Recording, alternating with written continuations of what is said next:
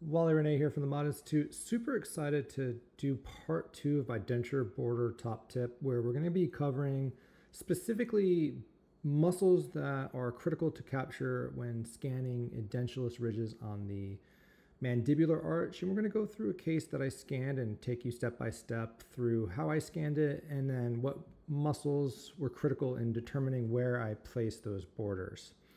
All right, without further ado, let's just get into it. So when we took uh, a lower digital impression of a mandibular arch here, there's one thing that I just really want to stress that's ultra critical.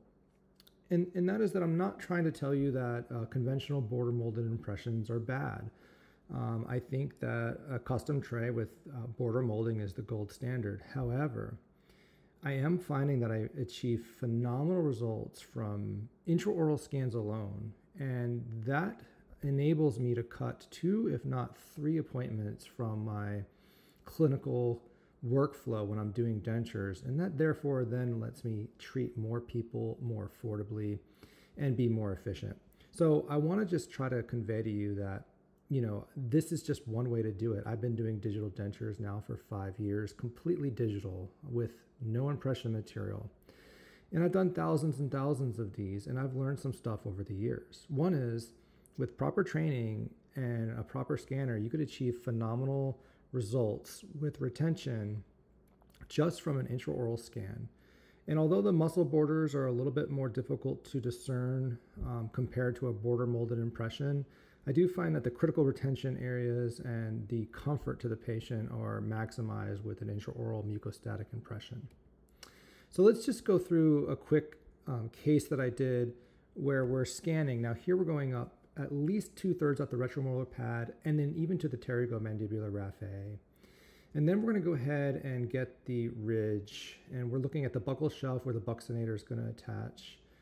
And labial frenum there, lingual frenum, the genioglossus, all the way down into the mentalis there. And then on to the retromylohyoid fossa, which is where the superior pharyngeal constrictor is going to be, and also the mylohyoid muscle. Here again, we're getting the, the buccinator there with the buccal shelf, and that is at a, at a stretched position when we do this.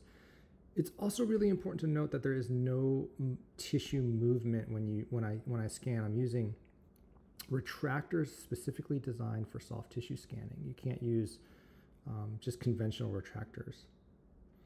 This is super easy to do. Um, that whole entire impression there, if you look at the time, was 2 minutes and 58 seconds, which is great and it's very comfortable for the patient and easy for me to delegate to my team members.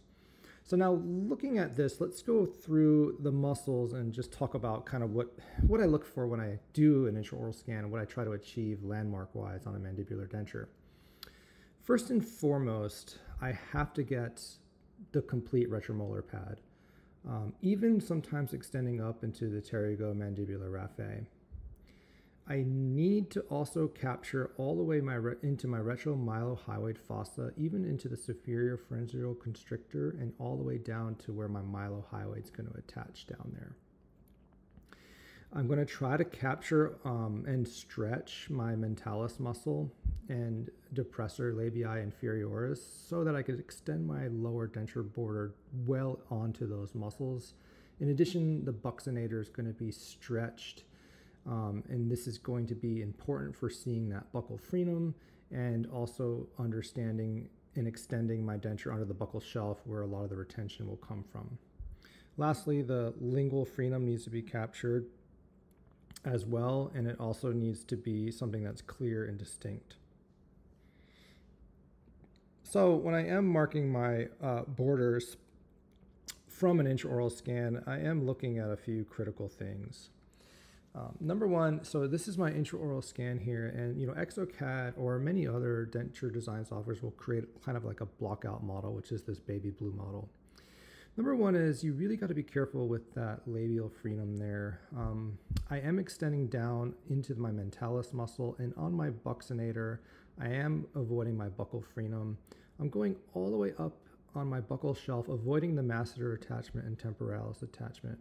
I'm going at least two thirds up my retromolar pad and deep into my retromylohyoid fossa. extending all the way down into um, the free movable tissues on the lingual, avoiding the lingual frenum. And again, deep into my retromylohyoid fossa here, where I am actually adding a lot of retention to this denture. Well onto my buccal shelf there for retention. You could sit on the bux buccinator muscle. It's not a big deal, which is also why I think border molding is overrated here. And then deep down onto the mentalis muscle down there, just like that. And most of the retention for this denture is going to come from the retromylohyoid fossa, the buccal shelf, and me in my digital design adding selective pressure to the denture borders and critical areas. This is how we're able to add back pressure on a mucostatic uh, denture. And so this is kind of what the soft tissue just looks like again uh, from my lower denture border. Now, you know, worst case scenario, if this was something that you, you know, 3D printed, maybe a monoblock try-in with the teeth and decided that it lacked retention, you could always um, redo light body wash into this and with some border molding and scan that and reestablish your fit if you need to. However, I typically go straight to final uh, denture with appropriate um, split file design and I think I get really good results. In fact, um, I don't even have to really pip my denture and look for pressure spots from intraoral scans like I do with physical impressions.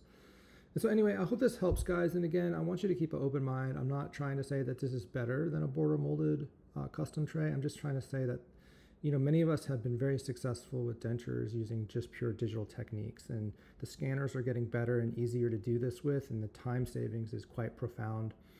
In addition, uh, when combining this with other digital techniques such as face scanning and photographs, um, you could easily capture um, everything that you need to design a denture in a single 30 minute appointment. I hope this helps as usual, guys. I really do um, want to see you attempting to try to scan like this. Reach out if you have any concerns or if you need any help.